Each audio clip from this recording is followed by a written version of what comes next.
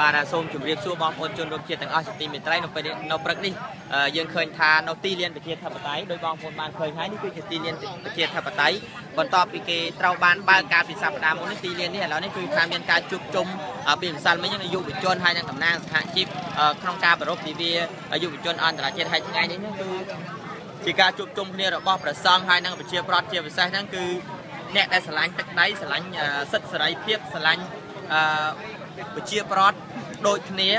ដូច្នេះហើយពួកគាត់ព្រលីបានមកជួបជុំគ្នានៅទីលានប្រជាធិបតេយ្យដើម្បីធ្វើបាតកម្មដង្ហែចេញពីទីលានប្រជាធិបតេយ្យឆ្ពោះទៅកាន់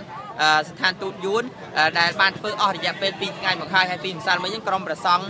ដឹកនាំដោយព្រះចៅអធិការវត្តសាមគ្គីរាំងសីបានប្រមូលផ្ដុំគ្នានៅមុខស្ថានទូតយួនប៉ុន្តែថ្ងៃនេះគឺជាថ្ងៃទី3ហ្នឹងគឺឃើញថាប្រមូលផ្ដុំគ្នានៅ ទីលានប្រជាធិបតេយ្យរួចដង្ហែចូលដល់ស្ថានទូតយន្តតាមបណ្ដោយផ្លូវព្រះមនីវងហើយជ្រាបក្នុងឱកាសនេះខ្ញុំបាទប៉ែនពុទ្ធភិលក៏សូមថ្លែងអំណរគុណយ៉ាងជ្រាលជ្រៅដល់សពប្រជាជនទាំងអស់ដែលបានឧបត្ថម្ភថវិកាតាមរយៈមូលនិធិអ្នករាជការពិសេសដើម្បីទិញបាយនិងទឹកជូនបាតកោរបស់យើងរយៈពេល3ថ្ងៃហើយរហូតមកដល់ថ្ងៃនេះយើងនៅទទួលបានប្រាក់ឧបត្ថម្ភជាបន្តបន្តសម្រាប់បាយទឹកហើយនៅពេលនេះក៏សូមថ្លែងអំណរគុណយ៉ាងជ្រាលជ្រៅដល់សពប្រជាជនរបស់យើងនៅទីក្រុងសាន់ហ្វ្រាន់ស៊ីស្កូរដ្ឋកាលីហ្វ័រញ៉ាសហរដ្ឋអាមេរិក ដែល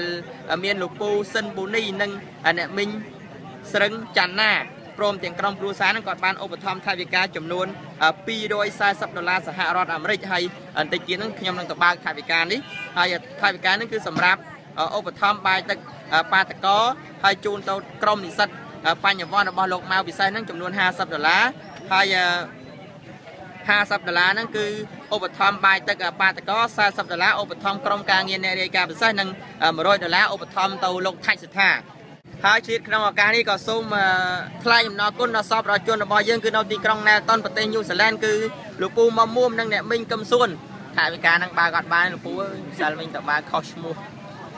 បាទដូច្នេះហើយសូមលោកពូជួយតកែសម្រួលផងគឺឈ្មោះខ្ញុំប៉ែនពុទ្ធភាលោកពូដាក់ឲ្យត្រូវដូចឈ្មោះនៅលើវីដេអូនេះទៅគឺខ្ញុំប៉ែនពុទ្ធភាថ្ងៃត្រង់នឹងបើកបានភ្លាមហ្មងហើយឈ្មោះហ្នឹងគឺឈ្មោះខ្ញុំប៉ែនពុទ្ធភាហ្នឹងដែលទទួលបាន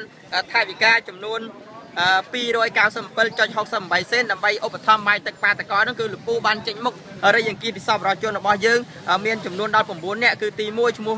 សឿនលោកសឿនឧបត្ថម្ភ20ដុល្លារលោកតាលឹមចំនួន20ដុល្លារលោក ជេ20ដុល្លារលោកតាជីមចំនួន20ដុល្លារលោកលោកជោតនិងលោកជោតនិងថាវីចំនួន50ដុល្លារលោកលោកឡតថាច់20ដុល្លារលោកគីមហុងចំនួន100ដុល្លារបងសឿនលឹមចំនួន20ដុល្លារបងប្រុសលឹម20ដុល្លារនិងឈ្មោះសពរដ្ឋជនរបស់យើងមាន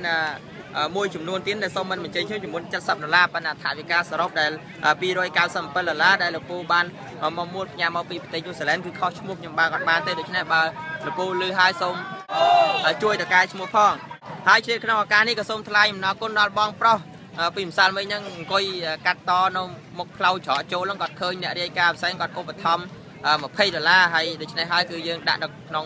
គម្រោងបាយទឹកបាតកលគឺខ្ញុំបាទប៉ែនពុទ្ធធានសូមថ្លែងអំណរគុណយ៉ាងជ្រាលជ្រៅដល់សពប្រជាជនទាំងអស់តែខ្ញុំបានរៀបរាប់ឈ្មោះហើយនឹងសពប្រជាជនខ្លះមិនទាន់បានរៀបរាប់ឈ្មោះទេគឺសូមថ្លែងអំណរគុណយ៉ាងជ្រាលជ្រៅចំពោះគម្រោងបាយទឹកបាតកលរយៈពេល3ថ្ងៃនេះហើយ